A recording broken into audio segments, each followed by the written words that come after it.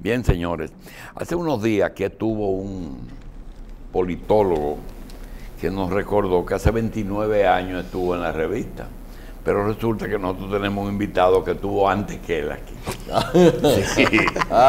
Cuando el PLD comenzó a dar sus primeros pasos, yo recuerdo en el canal 4 y en el canal 9, nuestro amigo Domingo Jiménez, que era de la juventud del PLD y nos traía videos de aquellas famosas campañas en que el PLD obtuvo, eh, yo recuerdo que en un momento Monchi Fadul, alcalde de Santiago, Ventura Camejo, senador, un señor guerrero de de Romana, ¿usted se acuerda? Laureano. ¿Eh? Ya tiene canas, ¿eh, doctor? Laureano Guerrero. Eh, bueno, ya pasaron los días y las canas llegaron, Domingo. Así es, así es. ¿Cuántos años tienen ese partido? tú? Así es, doctor, ya tenemos 35 años el PLD, cumplimos precisamente ahora Sí, en, hombre, este, en este diciembre, 35 años. Y bueno, 10 años después de fundado el PLD, saludo a las amigas, a los amigos de la revista 110 y gracias a ustedes por, por la invitación. Pero cuando llegamos, el PLD mm, no tenía en su eh, padrón, en su membresía, no alcanzaba aún la suma de 2.000 eh, dominicanos y dominicanas. A partir de ahí crecimos. Es más, todavía en el año mm, 1996, cuando llegamos en esa coyuntura histórica, llegamos a la dirección del Estado, el PLD era un partido con apenas 11 mil eh, miembros. Hay dos, Y hay dos- 18.000 hay dos, circulistas. ane- dos anécdotas Sí. que corroboran tu, tu afirmación. Una es que en el 90, cuando ustedes ganan algunos puestos Sí, importantes, sí, claro. eh, no en el 86. En el primo. 86, eh, bueno, los primeros diputados en 1982. Bien. que fueron Eh, siete. yo recuerdo que había localidades que no tenían local. No, ¿Verdad? porque el, el PLD era chiquitito. Un, De eso- un de partido eso- de cuadro. De eso quien te puede hablar mucho es el doctor Cristino Emilio del Castillo. Eh, Él, sa- él sabe. Él sabe de eso. Sí, eh, eh, él tiene y la otra es hay una conversación que ya le hemos hecho aquí en dos ocasiones. Y es que cuando ustedes ganan las elecciones con el apoyo de Balaguer, el señor Pedro Bretón le pregunta al presidente, presidente, y en esta transición podemos comenzar a nombrar los, los. Dice Balaguer, yo creo que sí, que hay que facilitar eso. Y dice, ¿y, y a cuántos usted nos autoriza a que nombremos? Le digo, Balaguer, nómbrelo a todos, porque no son tantos. Eran pocos. Y usted decía, eh, tuvieron que abrir el partido. Lo hicieron porque o lo masificaban eh, y llegaban al poder o se quedaban siendo una logia, una iglesia chiquitita, disciplinadito y todo eso, decía usted. ¿Mm? Cuest- Seguro. cue- cuestión que, que Que nosotros ustedes decíamos. le daban pau pau a uno, Eh, eh, no, eran los no. perfectos. Y éramos diferentes. Sí. Éramos diferentes, No, y son realmente. ahora son más diferentes. No, ahora, ahora hay muchos que han dejado de ser lo que, lo que éramos. ¿Mm? Ahora, e- e- eso es, esa es la situación. ¿Qué posición tú tienes en el partido? Eh, yo soy miembro del Comité Central del PLD y además secretario de Asuntos Laborales del partido. Tú no tienes nada que ver con la Junta Central Electoral. No, no estamos... Tú todavía no has manifestado ninguna eh, predilección por cargos electivos, Aspiración no ninguna. ni siquiera municipal. No, no, en lo absoluto. Leonel Presidente es lo que nos ah, mueve ahora. trabajando con Leonel. Leon- Leonel no has podido convencer al presidente Fernández de que ya él puede ser una conciencia nacional y dejar participar en estas cosas que son tan feas como elecciones. El pueblo no quiere que él juegue ese rol todavía. Oh. El pueblo no quiere eso. El pueblo lo quiere dirigiendo el país. Eh, de, de manera mayoritaria se está expresando así. Luego él no se debe a él. ¿Mm? Usted dice que tan pronto el presidente eh, Medina anuncie que no buscará la repostulación, desaparecerá la tensión que hay en el PLD. ¿Por qué? Porque ese es el tema que todavía mantiene una situación de indefinición dentro del partido. Y, obviamente porque no es cierto que pudiera darse eh, en la República Dominicana un nuevo intento de reforma constitucional sin que algo como eso deje de ocasionar un trauma mm, en términos políticos y social en la República Dominicana. Por suerte, por suerte, ese camino se va a despejar porque nosotros estamos convencidos que el presidente Danilo Medina no va a intentar mm, modificar la constitución nueva vez tres años o cuatro años después de haberlo hecho con la situación Pero que si, se lo, dio inte- allí. si lo intenta, yo creo que Leonel le gana una convención. es que para el presidente Medina no es necesario eso. Pero yo te predigo, No, no lo si es, vamos a no lo suponer es. que lo haga, él, aquí Hipólito lo hizo y perdió. Sí, Hipólito lo hizo y perdió. sí. El, el- el gran reto de ustedes es que ustedes están jugando un gallo que nunca ha perdido unas elecciones. El presidente Fernández no ha perdido nunca, es un candidato Tres elecciones que ha participado Todas, y ha ganado. todas las Dos que- de ellas en primera vuelta. Sí, todas, procesos internos, procesos ex- eh, externos que él ha ha encabezado, pues el presidente Fernández ha resultado ganador. Mm, primer intento del presidente Fernández como cabeza en una aspiración electoral, en términos particulares, fue la candidatura vicepresidencial en el año 1993 para las elecciones del 94. Y le ganó al secretario general del partido en ese momento, que lo era el compañero Lidio Cadet, y a un ícono, a un ícono no solo del PLD, sino de la historia dominicana, a- al comandante Norge Botello. Y Euclides. Y, y él gana, no, pero ha- hablo de ese proceso, porque en ese proceso él gana la candidatura eh, vicepresidencial. Le gana a Lidio y a Vidó Medina, que ya había sido candidato eh, vicepresidencial de Juan Bosch. Sin embargo, Leonel gana con un 54% esas elecciones internas. Y luego entonces a Norge Botello y a Euclides Gutiérrez Félix en el año 1995 gana la nominación presidencial para el 96. Leonel entonces gana las elecciones en segunda vuelta con el apoyo del doctor Joaquín Balaguer, gana con el 51% al doctor Peña Gómez. Luego participa nueva vez en el año 2003 a nivel interno y le gana la candidatura presidencial para las elecciones del 2004 a eh, Miguel Solano, Ramón Andrés Blanco Fernández y a Jaime David Fernández Mirabal y la gana con un 88%. Luego va al proceso electoral del 2004 y el presidente Fernández obtiene un 57% de los votos. Luego, cuando pensábamos que ya, que no se le iba a disputar, y digo cuando pensábamos que no se le iba a disputar, es porque el presidente Fernández nunca ha sido un candidato de que proclamado eh, a unanimidad o porque se decidió este, por aclamación proclamarlo candidato, nada que ver. En el 7, que pensábamos que nadie le iba a disputar la candidatura presidencial, tuvo que ir nueva vez a un proceso interno. Y ese proceso fue de frente a quien hoy es presidente de la República, Si ¿eh? al compañero Danilo Medina, y le ganó también esas elecciones internas con un 72% y luego gana con un 54% las elecciones del 2008. No ha perdido nunca, pero eso no es lo importante, Cristino.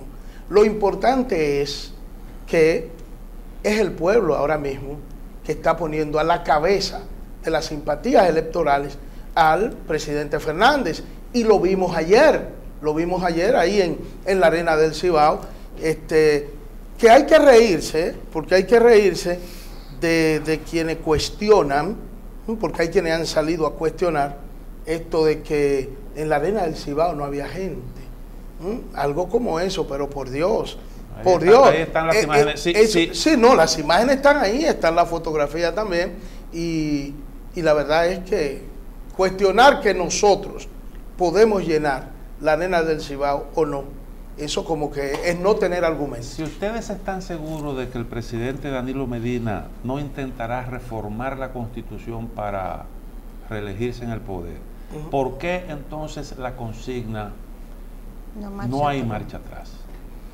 por el precedente, porque hay muchos que nos señalan, nos señalan el, el 2015, los vientos soplaban y ustedes hablaban de que Leonel sería candidato.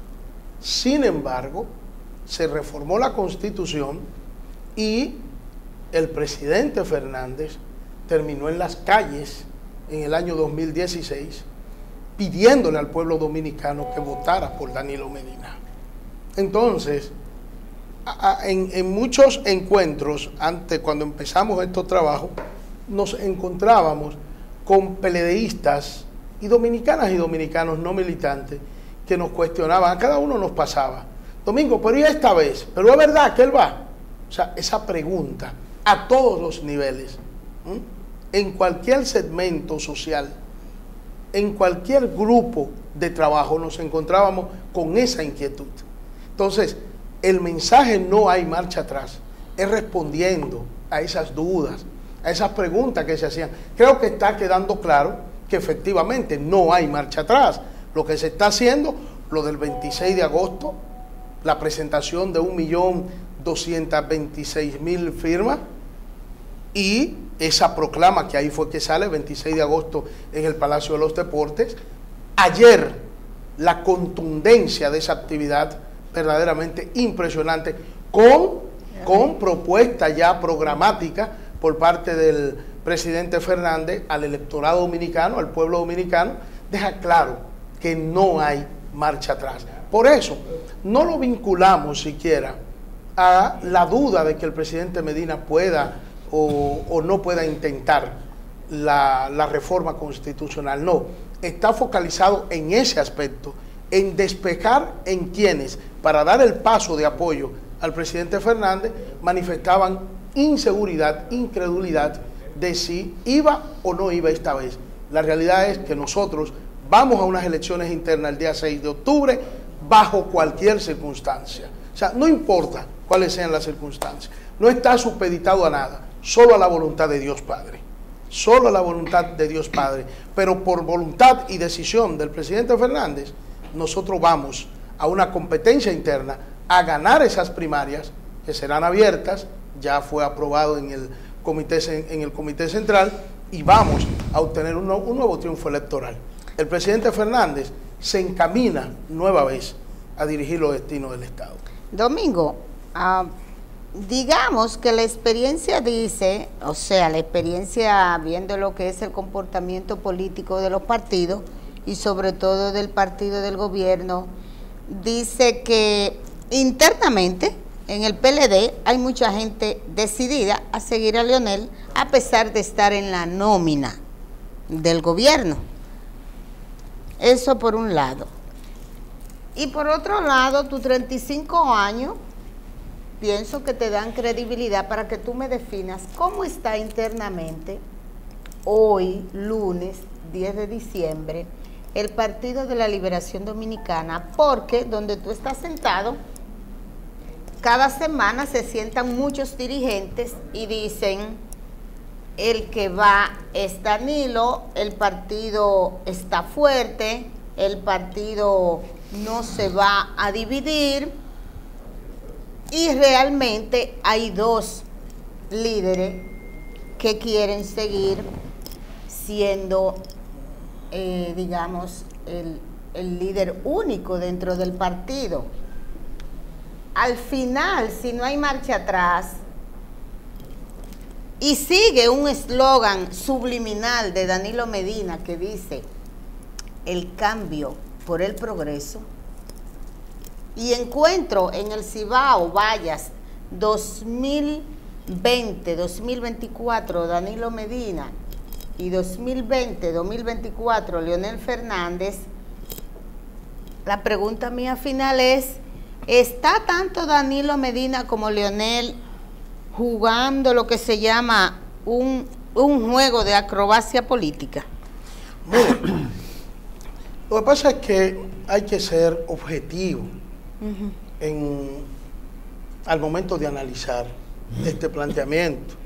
Y yo voy a tratar de serlo, sí, peco de no serlo, pues pido disculpas, pero creo que es incontestable que hay una realidad en estos momentos, y es que la constitución de la República impide al actual mandatario, al compañero Danilo Medina, ser candidato para las elecciones del 2020.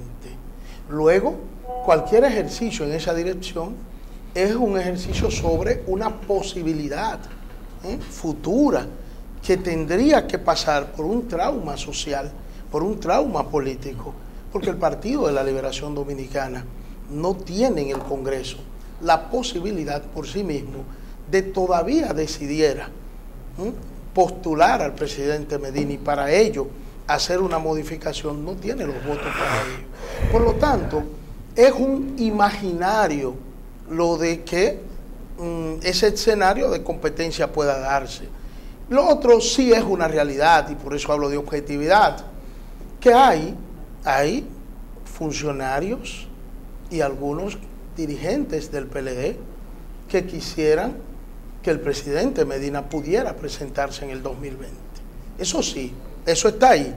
Pero mi papá, que ya no existe, lamentablemente físicamente, pero que queda prendido en nuestro corazón y lo recordamos siempre, y muchas de sus enseñanzas, él que era de un campo de la provincia de la Alta Gracia, de la Enea, y luego se fue a vivir a la Romana, donde yo nací, mi papá recogía mucho un refrán que él escuchaba de muchacho y nos lo decía a nosotros. Los deseos no empreñan. Y resulta que deseos sí pueden haber de dirigentes en el entorno del presidente Medina, pero esos deseos no se pueden confundir con la realidad. El candidato del PLD, Dios mediante, y con el apoyo de los PLDistas y los simpatizantes del PLD que votarán el 6 de octubre del año 2019 va a ser Leonel Fernández. Y le voy a decir algo, con el apoyo del, del presidente Danilo Medina, porque lo que se va a producir ante la realidad que ya se va viendo cada día más evidente, es que el presidente Medina y el presidente Fernández van a sentarse nueva vez y se pondrán de acuerdo, como lo han hecho anteriormente. En el 2007 se enfrentaron y muchos creían que el presidente Medina hasta iba a salir del Partido de la Liberación Dominicana. Él no salió a hacer campaña, mas sus fuerzas internas salieron con todo el PLDismo para que Leonel ganara en el 8. Y en el 12, cuando muchos analistas decían, Leonel nunca apoyará a Danilo, nunca lo apoyará, él prefiere a alguien de fuera antes que Danilo sea el presidente por la pugna interna. Todo lo contrario, el presidente Fernández trabajó como nunca había trabajado en una campaña para que Danilo ganara, porque así lo demandaba el momento, debido a que Hipólito Mejía le llevaba entre 24 y 26 puntos a Danilo Medina y se requirió de un gran esfuerzo para que ganáramos las elecciones del 12. Y unidos lo ganaron. Y en el 16, después de la pugna, por la no reforma a la constitución que terminó imponiéndose, ¿eh?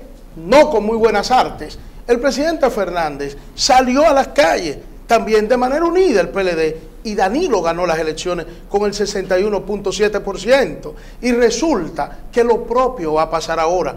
Por eso, por eso le doy un consejo a los muchachos del PRM. Porque los muchachos del PRM creen que deben apostar a la división del PLD. Ya lo han hecho anteriormente y fracasaron. Nueva vez van a fracasar. la división del PRM. No, porque el PRM no necesitamos que apueste. Mire, ayer solamente el presidente Fernández en la arena del Cibao destacó algo. Votaron cerca de 400 mil, según dicen ellos, en las elecciones para escoger a sus autoridades. Nosotros presentamos ayer, y, Leonel lo dio a conocer, 1.586.000 formularios inscritos que lo íbamos pasando en la pantalla. Era porque nos habían reclamado ah, que el 26 de agosto tan solo dijimos, tan solo dijimos que teníamos esa cantidad, que dónde estaban. Bueno, ahora la presentamos. Y les voy a decir algo.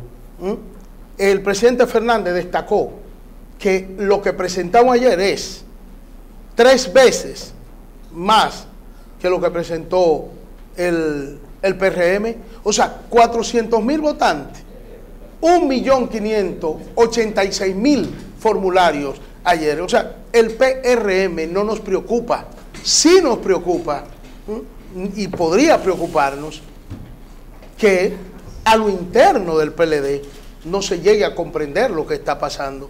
Y por eso digo, y lo aseguro de manera categórica en este caso, el PLD nueva vez se pondrá de acuerdo y va a ganar nueva vez las elecciones con el presidente Medina y el presidente Fernández unidos trabajando para esa victoria electoral. Domingo, pero ¿y qué van a hacer con toda esa firma? Esos van, son personas que se van a verificar, eh, se van a integrar dentro de lo que es registro de miembros y simpatizantes de la organización con miras a las elecciones internas, o eso es, eh, o se va a formar un grupo de apoyo. Muy interesante por lo siguiente, esa pregunta. No son meramente firmas nada más. Se está haciendo un trabajo de cara a la organización por mesas electorales de esas dominicanas y dominicanos que están manifestando simpatía y apoyo a la candidatura del presidente Fernández. Son formularios donde tenemos todos los datos de quienes deciden voluntariamente, estamos haciendo esfuerzos concentrados, todo le llamamos esfuerzo concentrado a eh, comisiones de compañeras y compañeros que salen todos los domingos de 9 a 12, casa por casa, a presentar esos formularios y a pedirle el apoyo para Leonel. El que lo llena lo hace voluntariamente, se identifica con el presidente Fernández y da todos sus datos a los fines, Carlos, del trabajo que vamos a hacer, que es la organización por mesas electorales. En marzo o abril... O sea, ustedes cuentan con el voto de esas personas que llenan el formulario. Eh, son mayores de edad. Y estamos también llenándole a los jóvenes que aunque tengan 17 ahora, van a tener 19 en mayo y van a poder votar. O sea, todos son votantes. Tenemos 1.586.000 que anunció el presidente Fernández ayer en la Arena del Cibao. Esos todos serán votantes y nosotros les vamos a dar seguimiento. De, estamos una base de datos. Hay un, fieles al partido y fieles a Leonel Fernández. No, hay una cosa en esto que quiero destacar. Todavía no tenemos el porcentaje de esta cantidad que no son militantes del PLD, pero en lo que presentamos el 26 de agosto, 1.226.000, teníamos un 42% que no pertenecen al Partido de la Liberación Dominicana. Vamos a ver, esa es una cifra que daremos más adelante, pero son PLDistas que apoyan a Leonel, simpatizantes del PLD que apoyan a Leonel y simpatizantes de otros partidos que lo han manifestado pero que quieren que Leonel sea el candidato y que si Leonel es el candidato, ellos votarían por el presidente Fernández. De eso se trata, Cristino. Va muy bien eso. Domingo, una de las preocupaciones de la militancia peledeísta es lo que se llama renovación y que la alta dirigencia la maneja como de manera muy discreta. Pregunta real. El presidente del partido, futuro candidato y futuro presidente, va a llevar un gabinete completamente nuevo para darle paz a toda esa militancia que realmente tiene más de ocho años. Como dicen en mi pueblo, que no vea linda. O sea, hay un montón de, dirigentes del PLD capacitados que de verdad no han tenido o simplemente se olvidaron de que desean trabajar en el tren gubernamental. ¿Va renovado, Leonel, si llega a ser el presidente? déjame agregar a esta pregunta. Usted ha dicho que el presidente Medina ha gobernado con sectores externos del PLD. Dije eso. Durante esta entrevista. No, no, no. Eh, eh, un ah, medio. que ha tenido esa, observación. No va a ser como dice eh, Lilia, que va a ir dirigente del PLD a gobernar ahora. Mire, cuando ha hecho referencia, eh, Lilian, le voy a responder, pero vamos a hacer esta aclaración. Cuando ha hecho referencia al, tema con relación a los peledeístas en el gobierno, lo ha hecho en la misma dirección que lo acaba de pronunciar el secretario general del partido, que acaba de decir en Jimaní hace par de semanas que definitivamente los peledeístas, de manera muy, pero muy este, significativa en términos de, militancia, de cantidad, han quedado marginados del gobierno en estos últimos seis años. El secretario general recordó que en los gobiernos de Leonel, hasta una comisión, la cual encabezaba él mismo como secretario general, canalizaba la integración de la dirigencia del PLD y de sus militantes, sobre todo esos mandos intermedios, la canalización de su integración a la administración pública. Eso ha destacado el compañero Reinaldo, reconociendo que ha habido ahora, en estos seis años, una desvinculación del gobierno con el partido. En esa misma dirección es que hemos hablado, que es algo a corregir, que necesariamente hay que corregir y que lo mejor es que sea el secretario general que lo reconozca como lo acaba de hacer, porque el secretario general está libre de sospecha en cuanto a su cariño, ¿verdad? Y su adhesión al presidente Danilo Medina. Qué bueno que lo haga él. Entonces, en esa dirección que hemos hablado de que el PLD se ha visto muy relegado en estos seis años y muchos dirigentes importantes del PLD, tradicionales, emblemáticos del PLD y una gran parte de la militancia, pues no ha sido tomado en cuenta en el gobierno que ha encabezado el compañero Danilo. Pero bien, la renovación, Lilia. La renovación. La renovación se está manifestando de la siguiente manera. El presidente Fernández ha empezado a visitar municipio por municipio a la dirigencia política del PLD que le sigue y que se reúne con él y se invitan a gente del pueblo también.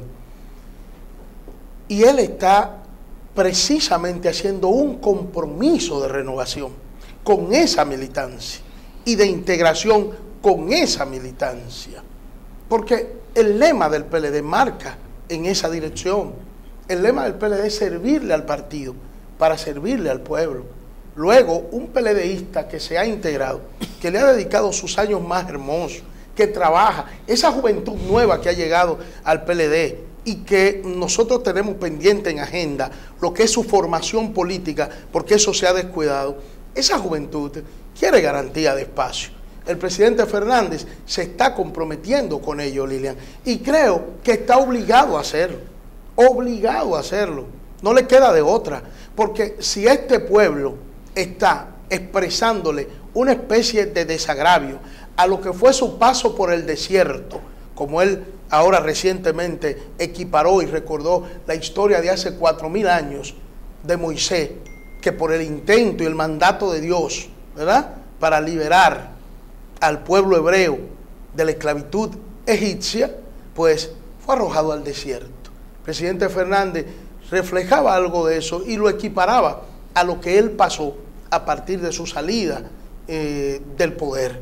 Y, él lo marca a partir del 2013 específicamente. Bueno, pues todas esas vicisitudes y avatares por lo que se ha vuelto, y no lo dibuja, se ha visto envuelto, Leonel, todo eso, Cristino, está siendo resarcido y reivindicado, desagraviado con el apoyo que impresionantemente le está dando el pueblo a Leonel Fernández. ¿No sería eso un error político, Domingo? ¿Cuál? En tanto la gente pudiera entender que es una persona que tiene algunos resentimientos, porque el PLD, en definitiva, usted mismo ha dicho que se va a reunificar. Y, eso se puede, no se podría malinterpretar, ¿no, ¿no crees tú que sería desde ese punto de vista un error plantearlo así? Porque ¿quién es el culpable de ese, de ese via crucis? habría que entonces preguntarse.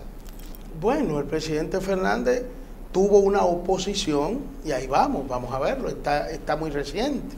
Ahí, es verdad que a veces nuestra memoria como pueblo se hace algo corta, pero esto todavía no tiene posibilidad de ser así porque estamos hablando de apenas cinco años atrás cuando empezó aquello. Bueno, pero claro que los culpables están identificados, muy, pero muy, pero muy evidentemente. Hoy esos juicios populares y esa oposición que se lanzó sobre Leonel Fernández y que se olvidó inclusive que quien gobernaba era Danilo Medina. Y todos los cañones fueron hacia el presidente Fernández y se utilizaron todas las armas posibles para tratar de reducirlo, de aniquilarlo. Iban a Funglode, intentaron hasta tirarle piedra, empezaron, se fueron a los parques, hicieron cosas terribles, una sociedad civil que se erigió. Pidiendo con apoyo político de los adversarios del PLD, pidiendo que al presidente Fernández se le enjuiciara, se le encausara eh, judicialmente. Y lo que pasó verdaderamente fue terrible. Luego el episodio aquel, donde se le trajo a un criminal, ¿eh? a un narcotraficante, y quiso entonces aniquilársele moralmente también. Eso está ahí. Ahora, cuando usted habla de resentimiento, no cabe en el corazón ni en la historia y la trayectoria de Leonel Fernández. Domingo, ¿qué- está ahí, evidentemente, cómo ha actuado. Y puede llamársele resentido a un hombre que después de haber pasado todo lo que sucedió, se lanzó en abril del 2016 a pedirle al pueblo dominicano que votara por Danilo Medina. No, la muestra está muy clara de que resentimiento en el corazón de Leonel, nada que ver, nunca ha actuado así. Eh, Domingo, queda un solo minuto. En un minuto, ¿cuál es el reto basado en ese Via Crucis? El reto es que lo peor ya pasó. Y el reto es ganar las elecciones con un PLD unificado. Lo peor ya pasó. Aquí habían encuestadores, firmas encuestadoras. Ellos tienen los números como lo tenemos nosotros. No hay un solo político aspirante a la presidencia en este momento que esté por encima de Leonel Fernández. A lo que se han atrevido, a lo más que se han atrevido para manejar todavía los números y una firma muy reputada como lo es la Gallup, a lo que más se han atrevido es a darlo empate, 14 a 14. Después, ninguna firma importante y de las creíbles ha dado a Leonel por debajo de ningún candidato. Ese es el reto, reunificar al PLD en torno a su candidato que será Leonel Fernández y ganar las elecciones nueva vez. Bien, gracias a Domingo Jiménez. Gracias a ustedes. Miembro del Comité Central del Partido de la Liberación Dominicana. Eh, no se nos pierda tanto, venga siempre por aquí. Ah, eh, por aquí estaremos. Bien, y a ustedes, gracias por la sintonía. Recordándoles que esto se repite esta noche en Coral.